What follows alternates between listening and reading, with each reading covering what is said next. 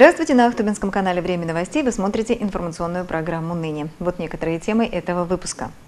По итогам проведения избирательных кампаний свои награды из главы района получили председатели и секретари местных избиркомов. За грамотное и корректное проведение выборов региональная избирательная комиссия отметила своих подопечных грамотами и благодарственными письмами. Средства, собранные в рамках акции «Чужих детей не бывает», пойдут на нужды детей, находящихся в сложной жизненной ситуации. В комплексном центре социального обслуживания населения подвели итоги благотворительного мероприятия.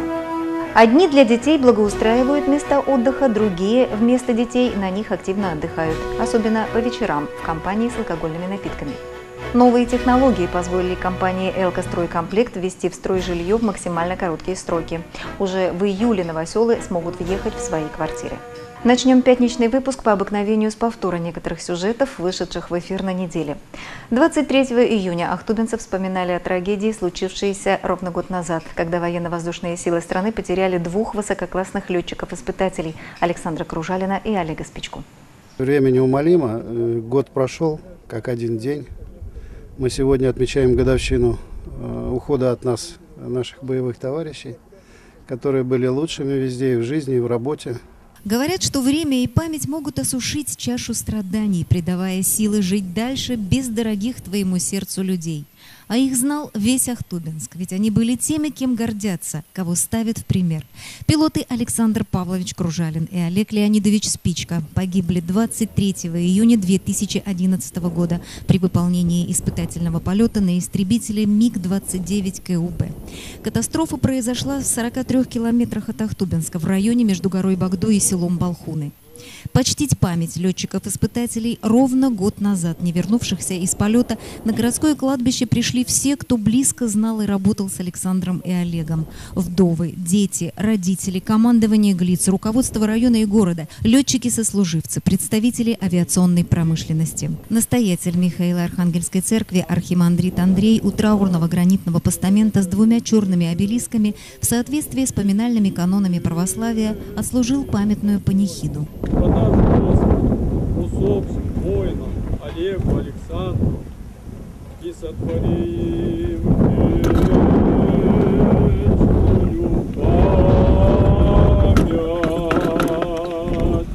Указом президента Российской Федерации от 30 марта 2012 года за мужество и героизм, проявленные при исполнении воинского долга летчикам-испытателям, полковнику Александру Кружалину и полковнику Олегу Спичке присвоено звание Героя Российской Федерации посмертно.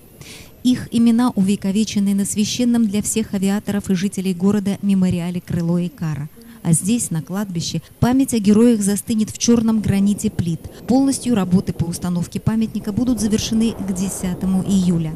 В центре композиции установят стеллу с изображением солнца и двумя фигурами уходящих людей а к стелле протянется стилизованная взлетная полоса, как символ неоконченного полета и бесконечного стремления в небо. Статистика дорожно-транспортных происшествий в нашем районе за пять месяцев этого года неутешительна. Семь человек погибло, 22 получили травмы. Увеличение числа аварий с участием водителей скутеров, мопедов, мотоциклов растет с каждым днем. Бороться с этой бедой сотрудники ГАИ решили консолидированно. Для проведения совместного рейда в Ахтубинск прибыли сотрудники ГАИ из соседних районов.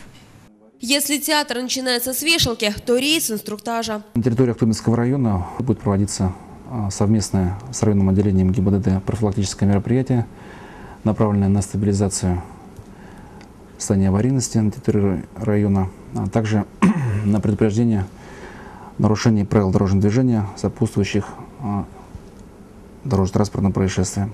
Командир отдельной роты дорожной патрульной службы, специально прибывший из Красноярского района в Ахтубинск для проведения рейда, хорошими новостями инспекторов ГАИ не обрадовал. Число ДТП в последнее время увеличилось. Особенно отличились водители двухколесных транспортных средств. Александр Маслов, начальник ГАИ в Ахтубинске, сообщил, накануне рейда на шоссе авиаторов произошло крупное ДТП. Скутерист выехал на встречную полосу движения, по которой ехал грузовой автомобиль. В результате столкновения водитель двухколесного транспорта транспортного средства погиб. В проведении рейда были задействованы экипажи ДПС из Ахтубинского, Харабалинского, Красноярского районов. Они патрулировали как городские дороги, так и трассу. Несмотря на то, что общая цель мероприятия – предупреждение нарушений правил дорожного движения всеми транспортными средствами, особое внимание инспекторы уделяли мопедам и мотоциклам. И это неудивительно. За получасовую съемку у ВАИ около пяти нарушений ДТП. Одно из самых частых – езда без шлема. На вопрос, почему без головного убора, заготовлен шаблонный ответ – не хватило денег. По итогам 15-часового рейда по Ахтубинскому району было выявлено 18 нарушений как со стороны водителей двухколесных транспортных средств, так и со стороны автомобилистов. Проведение рейдов – это мера, чтобы хоть как-то заставить водителей соблюдать правила поведения на дороге ради безопасности собственной жизни. Тем более, если это касается такого опасного, как показывает опыт транспортного средства, как мотоцикл или мопед. Вот один из примеров. Водитель скутера скутера слишком близко подъезжает к легковушке. Столкновение чудом удалось избежать. Водитель «Волги», неожиданно увидевший справа мопед, был ошарашен и еще несколько минут приходил в себя. На съемке можно разглядеть, что юноша за рулем скутера еще школьник, а следовательно за его действия отвечают родители. Согласно правилам дорожного движения, управлять велосипедом на, на автодороге можно с 14 лет, мопедом с 16 лет. И э, Соблюдение правил дорожного движения, обучение детей также э, является обязанностью родителей. Оставлять в покое скутеристов инспекторы ГАИ не собираются. В Ахтубинском районе это острая проблема, а значит снова и снова сотрудники ГИБДД будут выходить в рейд, чтобы хоть как-то повлиять на неутешительные цифры статистики ДТП с их участием. Прошедшая неделя запомнится сотням ахтубинских выпускников прощанием с родными школьными пенатами. Наши корреспонденты побывали на выпускных вечерах двух школ города и кадетской школы-интерната имени Сухого. Здравствуйте, товарищи выпускники! Здравствуйте, товарищ Поздравляю вас с окончанием Ахтубинской кадетской школы! Ура! Ура! Ура! С сентября 2011 года Ахтубинская школа-интернат изменила свой статус и стала кадетской, но ее по-прежнему называют леткой, чем воспитанники несказанно горды. У школы есть свои традиции, и быть кадетом, да еще из летки, безусловно, почетно. За два года ребята многому научились, но главной заслугой они считают то, что сумели ощутить себя частью большого дружного коллектива. Воспитание в коллективе – это очень э, долгое Э, будет очень поможет жизни, потому что коллектив, от коллектива не уйдешь. Это и работа, это и дом, и военная служба. Поэтому самое главное это воспитание в коллективе, адап адаптация именно в коллективе и дисциплина, конечно же. Вручение аттестатов на мемориальном комплексе «Крыло и кара» – это одна из первых традиций, сложившихся в коллективе. В этом году документ об окончании школы здесь получили 105 выпускников. Если учесть, что два года назад в летку пришли 172 человека, то надо думать, что все не так просто. И за время обучения бывало всякое. Кого-то отчислили за неуспеваемость, другие не вписались в дисциплину дисциплинарные рамки. Директор Петр Крапивин не скрывает, что с каждым годом подготовка ребят, поступающих в школу, все слабее, и работы у педагогов все больше и больше. Может быть, поэтому эти 105 кадетов, с которыми связаны годы упорной работы и в которых вложено столько сил, стали почти родными. Во всяком случае, отпуская оперившихся птенцов на волю, коллектив испытывает особые чувства. Они сегодня получили аттестаты и уходят во взрослую жизнь. А взрослая жизнь, я сегодня еще скажу и говорил, это как бушующий океан. И человечек маленький-маленький, брошенная, выброшенная щепка с корабля. И главное, чтобы ребята наши не потеряли ориентир в этой жизни. Вы знаете, конечно, за два года мы с ними свыклись. Мы привыкли, мы стали как родными. Мне, честное слово, со слезами на глазах я провожаю. Для меня это 16-й выпуск. И каждый запомнился из них. Вы знаете, я очень благодарен своим учителям, воспитателям, но особенно еще раз учителям, что пусть, конечно, мы не самых лучших принимаем детей, но из этих детей делают настоящих мужчин. В адрес выпускников звучали напутственные речи и самые теплые пожелания. Лучшие из ребят получили почетные грамоты и направления в высшие военные учебные заведения. Для кого-то из них детская мечта станет явью. И тут главное не забыть, благодаря кому удалось приблизиться к достижению цели.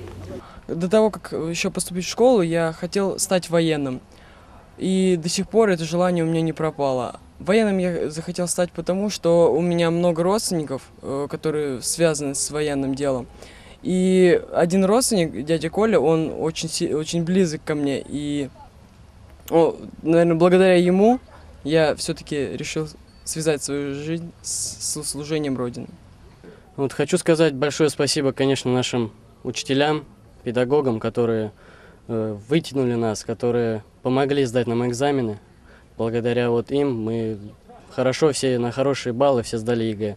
Вот. Также хочу сказать отдельное спасибо командирам, которые воспитали нас, вот, дали армейскую закалку, без которой в жизни сейчас не обойтись.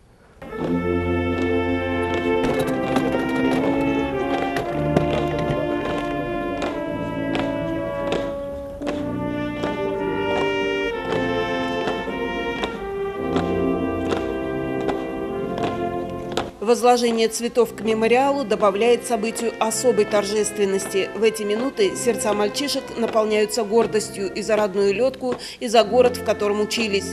Но, пожалуй, более всех счастливыми себя чувствуют родители выпускников. Глядя, как маршируют кадеты, не грех сказать, каких орлов воспитали.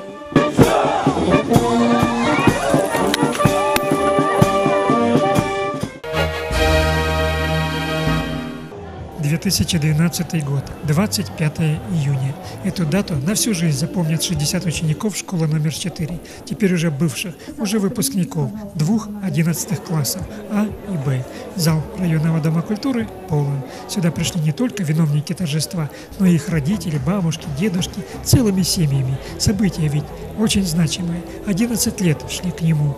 Проводится на государственном уровне, потому и началось с гимна России. Наталья Рыбалка, ведущая, пригласила в президиум преподавателей, которые все эти 11 лет учили выпускников, классных руководителей Людмилу Бойко и Светлану Неводчикову. Выпускники приветствовали их стоя. Конечно, и Людмилу Моисеенко, недавно ушедшую на заслуженный отдых, не забыли пригласить. Наши мальчики и девочки, наши юноши и девушки. А сегодня, глядя на вас, хочется сказать наши милые судари и сударыни. А по-английски это бы звучало тоже очень мило. Beautiful ladies and gentlemen. Handsome gentlemen, I'm sorry. Нынешний директор много хороших напутственных слов сказала, а затем приступила к главной теме праздника – вручению аттестатов о полном общем образовании. Первой на сцену пригласили Анелю Алагузову вместе с родителями. Заслужили. Директор поблагодарила их за отличное воспитание дочери, а ей вручила золотую медаль, награду за упорный труд на протяжении 11 лет. Этой же чести была удостоена и Ксения Запорожка из 11 Б. Она стояла рядом с мамой, которая почему-то крепко держала дочь за руку руку, а у Ксюши слезы катились из глаз. Что говорила директор, девушка плохо помнит. Такое бывает, от счастья. Впрочем, плакали не только выпускники. Кто с ними эти 11 лет рядом были, тоже уронили не одну слезу. И родители Димы Школьных испытали триумф за настоящую, первую в жизни высокую награду сына – золотую медаль. Марине Кулаковой вручили серебряную медаль. Екатерине Толстовой тоже. Эти пять выпускников не только гордость школы номер 4, они теперь настоящий золотой фонд Ахтубинского района. К сожалению, другим выпускникам немного не повезло. У Альбины Миронычевой в аттестате всего одна четверка. И непременно были бы медалистами Алена Привалова, Наташа Шевченко, Ильшат Сулейманов, Илья Васин, Эльмира Шамилова, Александр Стадник, Рашид Ягубов, Алексей Беспека и много других выпускников, если бы с полной отдачей не занимались общественной работой, спортом, не участвовали бы в различных культурно-массовых мероприятиях районного, областного значения, а иначе не называли бы четвертую школу на региональном уровне одной из самых спортивных, и в то же время среди выпускников очень много победителей различных олимпиад, конкурсов. Классные руководители с гордостью говорили о своих детях. Вам, родные, любимые дети, удачи, успехов, огромной любви. Совершайте ошибки, исправляйте их. Стройте планы, пишите свою собственную, неповторимую историю своей жизни. Поздравила ребят с окончанием школы Людмила Моисеенко. Я желаю вам добра и света. Я желаю вам всего того, что может пожелать человек, преданно вас любивший.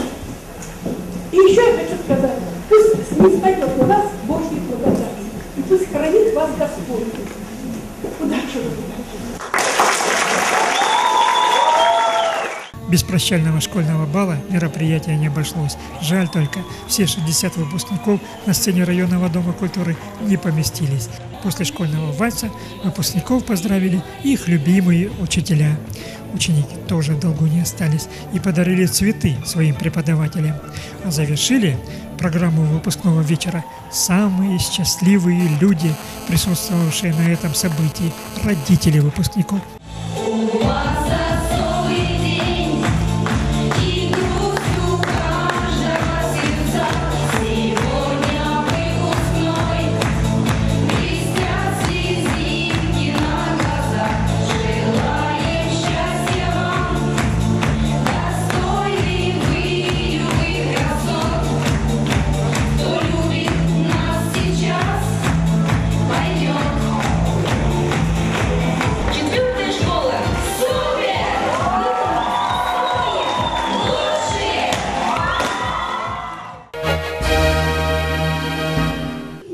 результатам 2011 года школа номер 6 внесена в Национальный реестр лучших образовательных учреждений России. Ее выпускники учатся в самых престижных вузах страны и работают в различных отраслях народного хозяйства.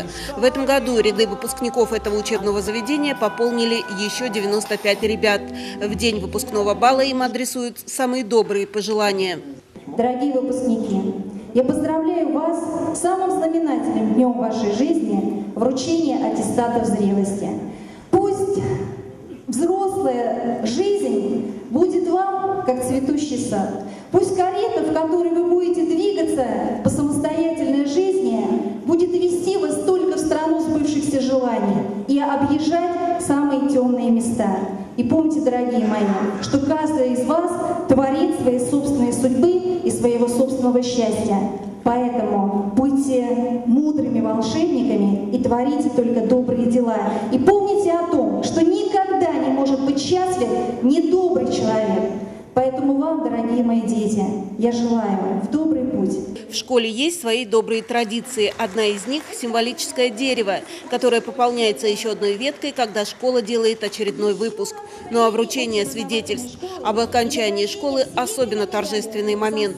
Трое выпускников удостоены золотых наград и семь получили серебряные медали. Виновников торжества поздравляют педагоги, родители, но, наверное, самые трогательные слова звучат от поколения бабушек и дедушек выпускников. Александру Занину зал аплодировал за искренность и дельные советы в адрес внуков. Свое шутливое и в то же время серьезное выступление он завершил словами Владимира Высоцкого. Мой финиш – горизонт, а лента – край земли. Я должен первым быть на горизонте. Желаю вам удачи. Что же касается выпускников, то они испытывают смешанные чувства. С одной стороны, радостно, что с аттестатом зрелости связаны новые перспективы, а с другой – жаль расставаться с одноклассниками и друзьями. Так что праздник получается с оттенком легкой грусти, но все же тонкого лиризма в нем гораздо больше. Выразить это словами непросто, да и зачем, когда есть музыка, под которую можно закружить в ритме вальса.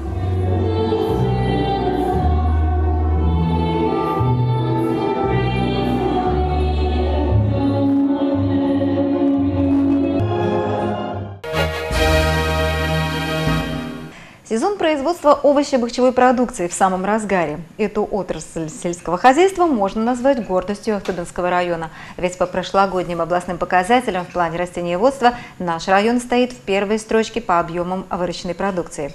Успех зависит не только от желания получить достойный урожай, но подчас и от смелости и упорства сельхозпроизводителей, число которых растет. В частности, попробовать свои силы на Ахтубинской земле сюда приезжают фермеры из других регионов страны.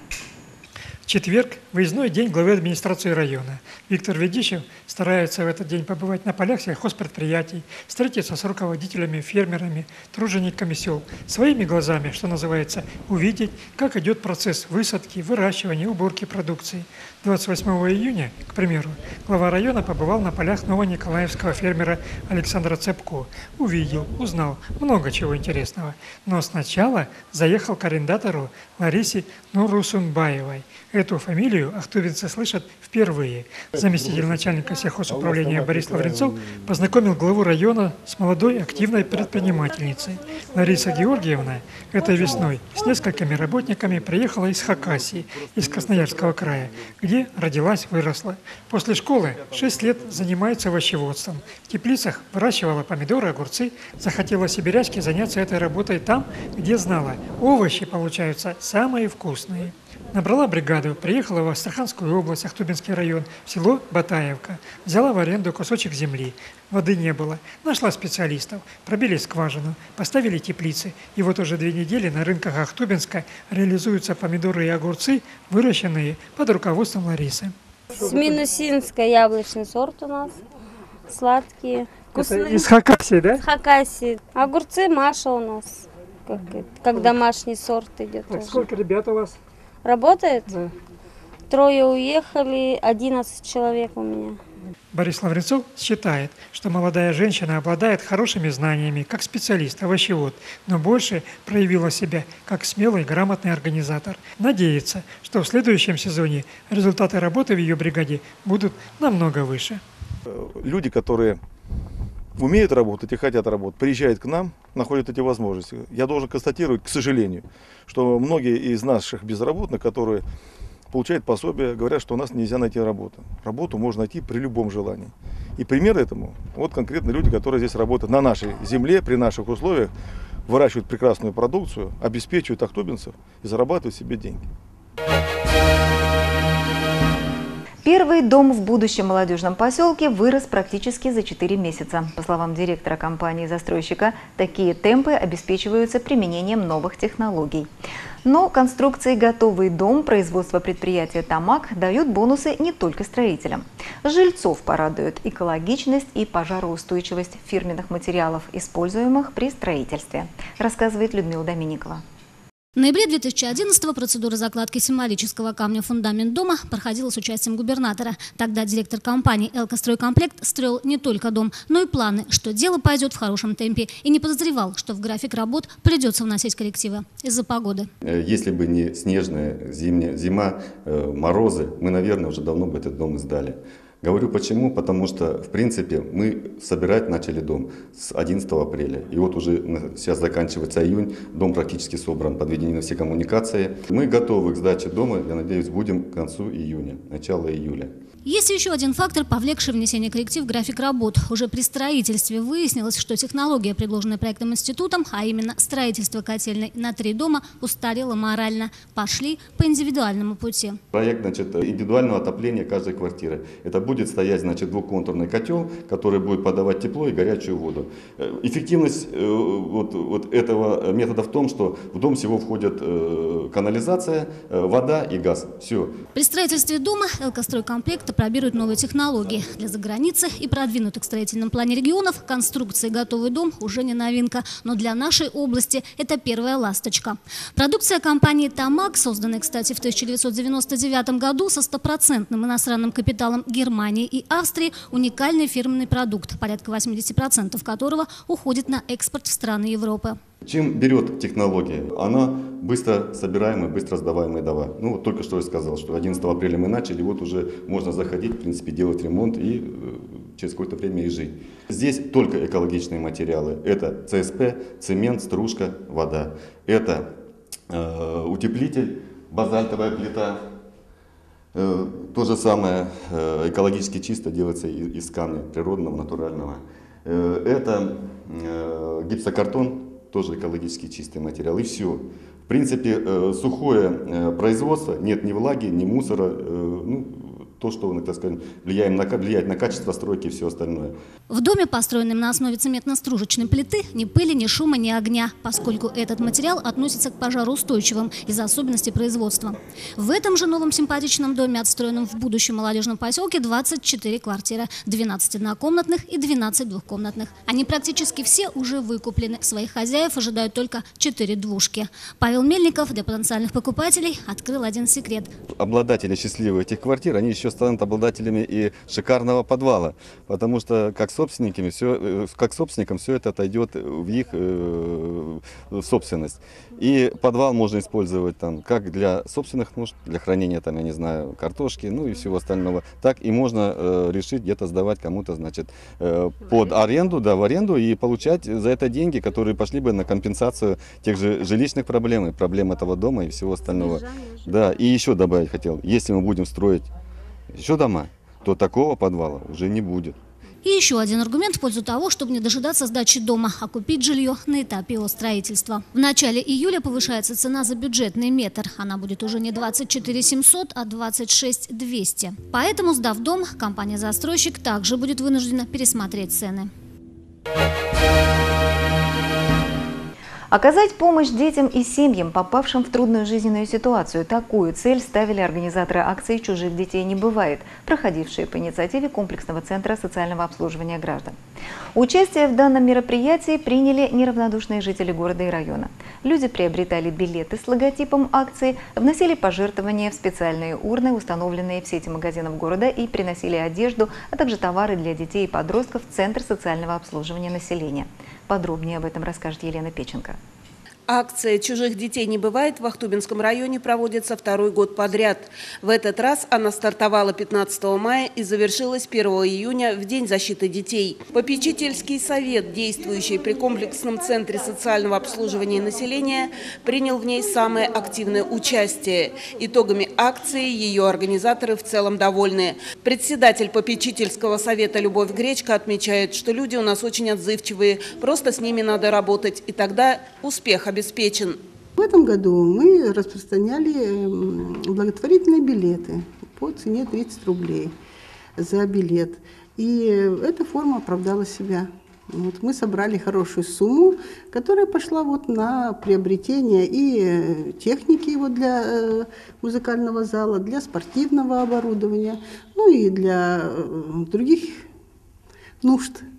Так что, наверное, нужно продолжать Э, и э, значит, использовать вот эту форму распространения билетов благотворительных и э, расстановку урн в общественных местах.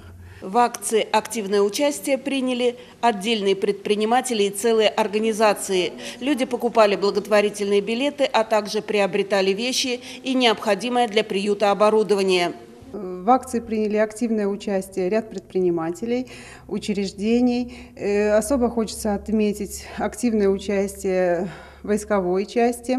И замечательный большой подарок нам подарили от предприятия Нарузбаев А. Хочется выразить слова благодарности от всего коллектива, от э, всего попечительского совета и, конечно же, от наших детей за доброту, отзывчивость, милосердие, за то, что откликаются на наш призыв, помогают нам в улучшении нашей материально-технической базы, продолжают вносить свой вклад в улучшение жизни детей. Большую помощь в проведении акции комплексному центру социального обслуживания населения оказали и студенты филиала «Взлет» Московского авиационного института. По словам директора Ларисы Червоненко, волонтеры всегда готовы поддержать любую инициативу. Их помощь, а также поддержка ахтубинцев понадобится и в проведении следующей акции. В августе нужно будет собирать детей в школу.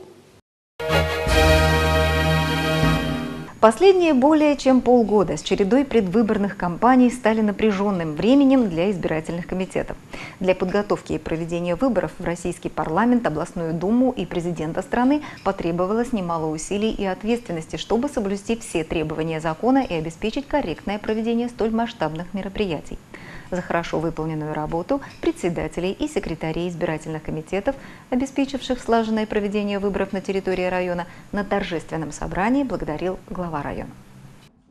Мероприятие по поводу проходило в кабинете главы района. Виновниками торжества стали 19 представителей общественности, отвечающих за соблюдение законности при проведении выборов разного уровня на территории муниципального образования Ахтубинский район. Виктор Ведищев поблагодарил руководителей избирательных комиссий за добросовестное отношение и компетентность в столь важном деле, коим является подготовка и проведение любой выборной кампании.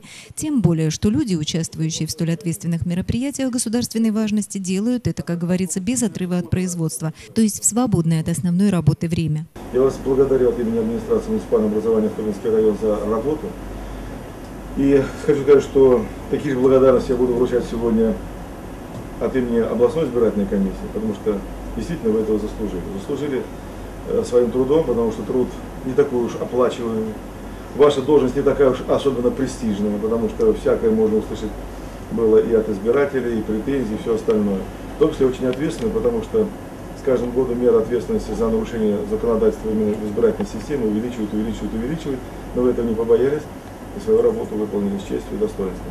Председателем территориальной избирательной комиссии Ахтубинского района многие годы является Мария Бережко. Говорит, что решать поставленные задачи всегда помогала ответственность перед законом, добросовестность и честность коллег, их готовность справляться с любыми сложностями. До недавнего времени подотчетной структурой возглавляемого Марией Бережко избиркома являлась и муниципальная избирательная комиссия Ахтубинского района. Совсем недавно полномочия последней были переданы в территориальный орган закончился срок полномочий избирательной комиссии муниципального образования Ахтубинский район, и по закону можно или формировать комиссию, или возложить э, полномочия на территориальную избирательную комиссию Ахтубинского района. Депутатами было принято решение обратиться в избирательную комиссию о возложении полномочий на территориальную избирательную комиссию Ахтубинского района, поскольку там люди более профессионально подготовлены, давно работают – Избирательная комиссия приняла постановление о возложении полномочий. Теперь полномочия избирательной комиссии муниципального образования возложены на территориальную избирательную комиссию. Теплые слова и награды не могли не порадовать участников мероприятия. Настроение царило благостное. О трудностях и проблемах, по словам уже бывшего председателя муниципальной избирательной комиссии, если и стоило говорить, то только лишь с точки зрения нехватки времени. Проблемы были только в одном – нехватка времени, потому что нужно было знать закон. Если ты знаешь закон, если ты изучаешь его, ты знаешь, как тебе действовать. Потому что практически в документах расписаны все действия члена избирательной комиссии, председателя, заместителей и всех других органов, которые могут быть, ну, которые завязаны на выборы э, местного состава. Поэтому Нужно было изучать, смотреть, подчеркивать, запоминать. Работа председателя муниципального избиркома была отмечена благодарственным письмом от главы района. Коллегам Сергея Луцева за успешную работу и проведение избирательных кампаний на территории Астраханской области были вручены благодарности от председателя избирательной комиссии Астраханской области, а также благодарственные письма от областного избиркома и почетные грамоты за большой вклад в развитие избирательной системы. Детские площадки в Ахтубинске пользуются большой популярностью. Оказывается, не только у малышей, но и у более старшего поколения. Все чаще места, отведенные для развлечения детворы, в вечернее время суток используются взрослыми, как место распития алкогольных напитков. Мало того, что мусор после таких посиделок они за собой не убирают, так еще и жителям прилегающих территорий мешают. Регина Мусина посетила несколько таких мест отдыха в сопровождении сотрудников полиции. В этой обстановке воспитываются трое несовершеннолетних детей. Родители их пьют. Вот и в момент проверки возникает подозрение, что они не трезвы. Поэтому проявление агрессии со стороны главы семейства неудивительно. Да убери свою камеру, блядь. Я тебе сейчас разобью ее нахуй. Но студив пыл, хозяин приглашает в дом. Детей нет, они на речке. Родители сообщили о намерении в ближайшее время сделать ремонт. Наверное, этим объясняется нехватка мебели в доме. В целом жилье в относительно удовлетворенном состоянии. Есть еда и даже домашние животные. Неблагополучных семей, как эта, в Ахтубинском районе зарегистрировано 16. В течение шестидневного рейда сотрудники подразделения по делам несовершеннолетних проверили, встают ли они на путь исправления. Правда, результаты положительными назвать нельзя. С учета никто не был снят, зато четыре новые семьи были признаны нуждающимся в контроле. В селе Успенко был выявлен факт ненадлежащего исполнения родителями своих родительских обязанностей, где в настоящий момент значит, такая семья выявлена, проводится проверка на решение дальнейшего вопроса о возбуждении уголовного дела в порядке 156 статьи Уголовного кодекса Российской Федерации, то есть жестокое обращение с детьми. Пока ребенок изъят, помещен э, значит, в орган здравоохранения для, э, до решения дальнейшего вопроса о его судьбе и судьбе той семьи, из которой он изъят. Кроме этого, увеличило число подростков, состоящих на учете комиссии по делам несовершеннолетних за распитие спиртных напитков. Эта проблема до сих пор актуальна, несмотря на введение жестких санкций в отношении тех, кто продает алкоголь детям был выявлен и задокументирован факт продажи алкогольной продукции несовершеннолетнему. Э, в настоящий, матери... в настоящий момент материал направлен в мировой суд для дальнейшего решения вопроса об ответственности лица, которое допустило продажу алкогольной продукции, в данном случае пива, несовершеннолетнему гражданину 16-летнего возраста. Бывают ли результаты рейда положительными? Да бывают, но редко. На путь исправления приверженцы пагубных привычек становятся неохотно. На сегодня это все новости. Зрителей благодарю за внимание. Желаю вам удачных выходных дней. Всего доброго и до свидания.